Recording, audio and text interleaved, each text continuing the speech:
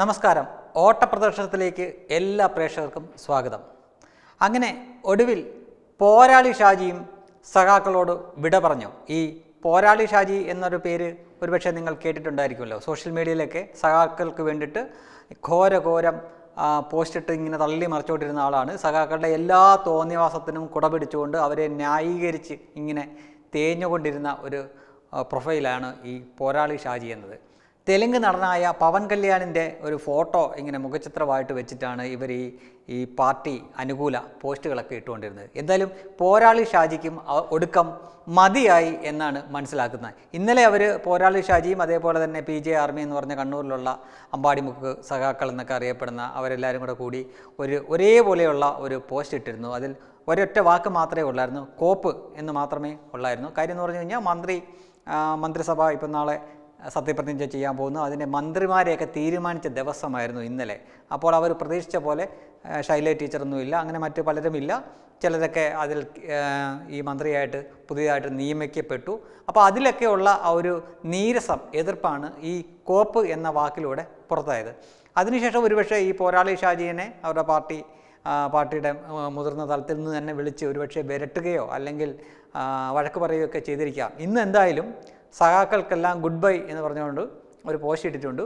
അത് ഏറ്റുപിടിച്ചുകൊണ്ട് നമ്മുടെ റഹീം A A റഹീം ഇങ്ങനെ മുഖമില്ലാത്തവർ പറയുന്ന അത് പാർട്ടിയുടെ അഭിപ്രായമല്ല എന്നൊക്കെ പറഞ്ഞുകൊണ്ട് വിമർശിച്ച് പറയുകയും അതിന് മറുപടിയായിട്ട് റഹിമെ ഇതേപോലെ മുഖമില്ലാത്ത ഒരുപാട് പേരുടെ കഷ്ടപ്പാടും ഒക്കെയാണ് ഇപ്പോൾ നിങ്ങൾക്ക് തുടർ ഭരണം കിട്ടിയിരിക്കുന്നത്. അത് മറന്നു പോകരുത് എന്നൊക്കെ പറഞ്ഞുകൊണ്ട് ഇവർ തമ്മിൽ ഇപ്പോൾ നല്ല രസകരമായിട്ടുള്ള അടിയൊക്കെ നടക്കുകയാണ്. അപ്പോൾ കൂടുതൽ കൂടുതൽ അണികളുടെ ഇടയിൽ തന്നെ കൂടുതൽ കൂടുതൽ എതിർപ്പുകൾ ഈ പുതിയ മന്ത്രിസഭ രൂപീകരണത്തിന് ശേഷം ഉണ്ടാവുമെന്ന കാര്യത്തിൽ ഉറപ്പായിരിക്കുകയാണ്. ഒപ്പം തന്നെ മുതിർന്ന നേതാക്കളും ഈ രണ്ടാമത്തെ പിണറായി ടു എന്ന ഈ രണ്ടാമത്തെ ഈ മന്ത്രിസഭയുടെ ഈ രൂപീകരണത്തെ സംബന്ധിച്ചിട്ടുള്ള അതിന്റെ പിന്നണിയിൽ നടന്ന ചില കളികളെയൊക്കെ അവരും അത്ര സംതൃപ്തരല്ല എന്നാണ് പുറത്തു വരുന്ന റിപ്പോർട്ടുകൾ. പക്ഷേ ആരും ഒന്നും മിണ്ടുന്നില്ല. പിണറായിയെ ഭയന്നിട്ട് ആരും ഒന്നും മിണ്ടുന്നില്ല. പക്ഷേ പിണറായിക്ക് മുമ്പിലുള്ളത് വലിയ ഒരു വളരെ വലിയ ഒരു വെല്ലുവിളിയാണ്. എപ്പോഴെങ്കിലും അദ്ദേഹത്തിന് ഏതെങ്കിലും കാര്യത്തിൽ ഒരു പിഴവ് സംഭവിച്ചാൽ ഇവറ്റകളെല്ലാവരും കൂടെ കൂടി ഇദ്ദേഹത്തിനെ വാരിയെടുത്ത് അലക്കും എന്ന കാര്യത്തിൽ യാതൊരു സംശയമില്ല എന്തായാലും അത് അവരുടെ ആഭ്യന്തര കാര്യം. അതങ്ങനെ പോട്ടെ. ഈ അടിച്ചു മാറ്റലിന്റെ കാര്യത്തെപ്പറ്റി പറയുകയാണെങ്കിൽ ഇതിൽ വളരെ വിദഗ്ധരും കുപ്രസിദ്ധരുമാണ് ഈ കമ്മികൾ കമ്മ്യൂണിസ്റ്റുകൾ അല്ലെങ്കിൽ അവരുടെ കൂട്ടത്തിൽ തന്നെയുള്ള അന്തംകമ്മികൾ എന്ന് പറഞ്ഞ ടീംസ്.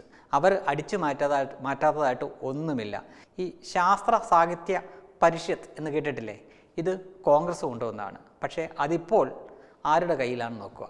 അതേപോലെ തന്നെ കുടുംബശ്രീ എന്ന ആ ഒരു പ്രസ്ഥാനം ഇവിടെ നമ്മുടെ കോഴിക്കോട് വന്ന് ഉദ്ഘാടനം ചെയ്തത് എ ബി വാജ്പേയി ആണ് അതിപ്പോൾ അവരുടെ കുടുംബ സ്വത്തായിട്ടാണ് ഈ സി പി എമ്മുകാർ കൊണ്ടു നടക്കുന്നത് ഇതേപോലെ തന്നെ നമ്മൾ കേട്ടിട്ടുള്ള ഒത്തിരി കാലങ്ങൾ നമ്മൾ കേട്ടിട്ടുള്ളൊരു ഒരു വിപ്ലവ ഗാനമുണ്ട് ബലികുടീരങ്ങളെ എന്നുള്ളത്. അത് യഥാർത്ഥത്തിൽ ഇവരുടെ വിപ്ലവ ഗാനമേ അല്ല.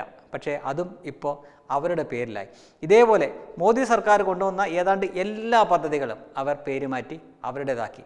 അതേപോലെ തന്നെ അവർ ഇപ്പോൾ ഇതാ ഇന്ന് ചരിത്രം സൃഷ്ടിക്കുന്നു എന്ന് പറഞ്ഞുകൊണ്ട് അതായത് ഒരു ദേവസ്വം മന്ത്രിയായിട്ട് ദളിതനെ ഞങ്ങൾ നിയമിച്ചു ചരിത്രം സൃഷ്ടിക്കുന്നു എന്നൊക്കെ പറഞ്ഞുകൊണ്ട് തള്ളി മറിച്ചുകൊണ്ട് വരുമായിരുന്നു അപ്പോഴാണ് ഇത് ആദ്യത്തെ സംഭവമൊന്നും അല്ല എന്നും പത്ത് മുപ്പത് വർഷം മുമ്പ് തന്നെ മറ്റു രണ്ട് പേർ ഈ ദേവസ്വം മന്ത്രിയായിട്ട് ഇരു ഇരിപ്പുണ്ട് എന്നുള്ള തെളിവുകൾ സഹിതം എല്ലാ മീഡിയകളും വെളിയിലോട്ട് വന്നപ്പോൾ ഇവർ അവിടെ തന്നെ തേഞ്ഞങ്ങോട്ടി.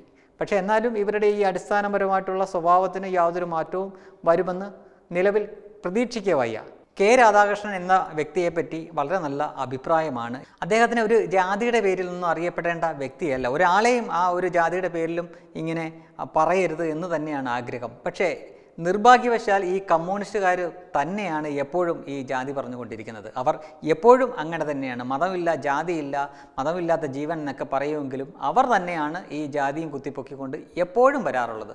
ആ ഒരു സംഗതി ഇവിടെയും സംഭവി സംഭവിച്ചു എന്നതാണ് വിരോധാഭാസം. പിന്നെ ഇവർ ഇത് ആരോടാണ് പറഞ്ഞുകൊണ്ട് വരുന്നത് എന്നും കൂടെ ആലോചിക്കണം. കോൺഗ്രസ്സുകാരന്റെ അടുക്കലോട്ട് ചെന്നു കഴിഞ്ഞാൽ അവർക്ക് പറയാൻ അവരുടെ ഒരു മുൻ പ്രസിഡന്റ് ആയിരുന്ന ആൾ രാജ്യത്തിന്റെ പ്രസിഡന്റ് ആയിരുന്ന ഒരാൾ കെ ആർ നാരായണൻ എന്ന വ്യക്തി ആരാണ്? അതേപോലെ തന്നെ ഇത് ഈ ഇതേ കാര്യം പറഞ്ഞുകൊണ്ട് ബി ജെ പിക്കാരന്റെ അടുക്കെ ചെന്നാലോ? ഇപ്പോൾ നിലവിലെ പ്രസിഡന്റ് ആരാണ്? ഇന്ത്യയിലെ പ്രഥമ പൗരൻ എന്ന് വെച്ച ആ ഒരു പദവിക്ക് അപ്പുറത അപ്പുറമുള്ളതാണോ ഒരു ദേവസ്വം മന്ത്രി എന്ന ഒരു സ്ഥാനം.